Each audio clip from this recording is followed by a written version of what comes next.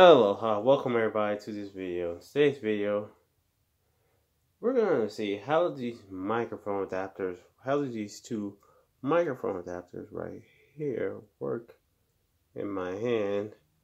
How these microphone, how these microphone work on my, and we're gonna hear how they sound mid video. So sit back, relax, sit back and relax. And let's see which which one of these, which one of these sound the best with a microphone. All right. This is the Rode Video Mic Me. So let's hook this into the IO and you should hear a difference. Because right now we're just using a cell phone's built-in mic. There is no mic adapter hooked into it. So let's just put this in right now. You guys should hear a noticeable difference the moment I put this in to the cell phones, to the cell phone's earphone jack. Just gotta carefully hook it up. Uh, yeah, sorry about all the movement sure cell phone balance and it doesn't fall over. It doesn't fall over. And the IO should magically should have switched to the Rode Video Mic Me. Me things should sound slightly different. But right now, sitting here on the table, we have all my collection of mics from the digital, from the digital recorder, from the digital recorder.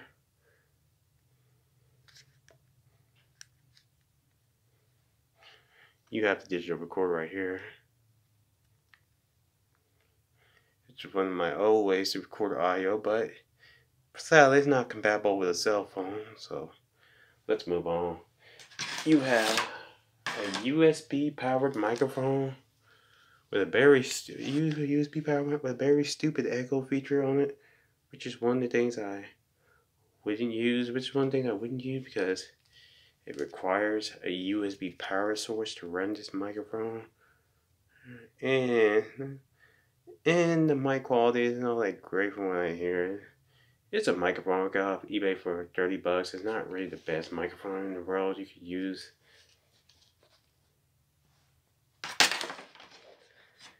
Let's see here. We have a USB headset, which the Y, see this Y splitter should allow you to use any one of these mics. The mic splitter should allow you to use any one of these mics mics anyway. You would just simply hook that into your mic output, put that into the cell phone, and there you go. That would it would switch over the IO where this recording right now. Now I don't know if the I don't I don't know the open camera app I'm using is going to switch the IO every time I insert a different mic, but here's probably one of the better mics that a lot of people are. A blue it's a blue snowball. It's a blue snowball microphone. Now, obviously, it's USB powered. And there's nothing else. There's nothing else. It's not really made to go with a cell phone. I kind of wish they would have made it with. It's made to this. To this immediately grab power from the USB. It's made to grab a USB. It's made to power on from USB I/O source. It comes in handy, that's what it needs to do, but is it the microphone of choice I probably use in all my recordings with three different mic settings?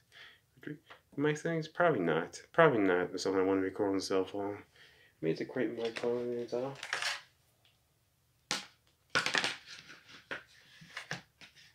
This is a very cheap this is a very cheap condenser mic. Yeah, I got off eBay for like I don't know, 19 bucks. It's not all that great sounding it is what it is. It's probably the microphone I wouldn't use to record on all that.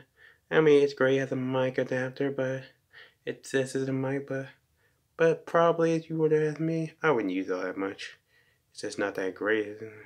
The audio quality can range all over the place.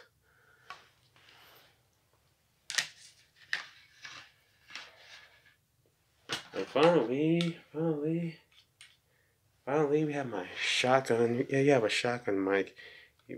Those of you who don't know a shotgun mic, it's made to go on the cam. It's made to hook up to a camera. It's made to hook up to a camera, DSLR camera, or something like that. Right now. Most people say it's a great way to help with wind resistance outside, but I'm not recording outside. We're in an inside environment. We're just recording inside.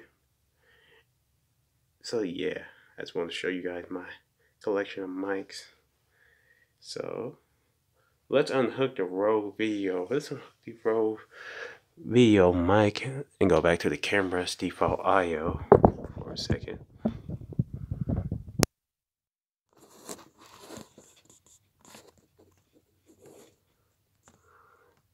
I know, trying to unhook that. And let's switch over to the shotgun microphone. Oh, a shotgun microphone. A shotgun microphone.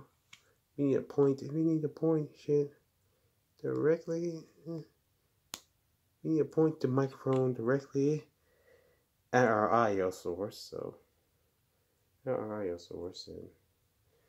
And, we gotta do is like grab this microphone very slowly. If it's on, connect that to, connect that to the cell phone's earphone adapter. and It should immediately start grabbing IO.